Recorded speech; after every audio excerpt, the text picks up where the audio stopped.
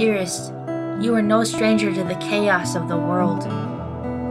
You've lived in it long enough to know its ups and downs. You know how the madness appears. You know that sometimes the sky turns black. But you also know that there's always a brighter day ahead. The world throws you pain, wanting to break you down, but you rise above it all. You are no longer a ruined city, but a city with tall towers and a strong will to live.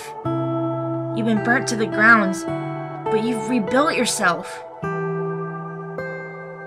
And now you have more beauty than you've been told you have. You have scars from your battles, and each time you've gotten knocked down, you've risen up. You used to be covered in, in ashes, and now you're a fire that can't be put out.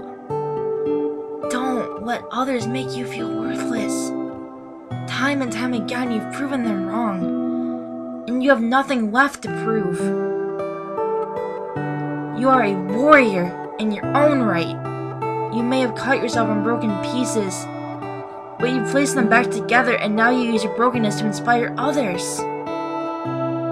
Take your wings and fly. You can soar above your small town because you're a free bird.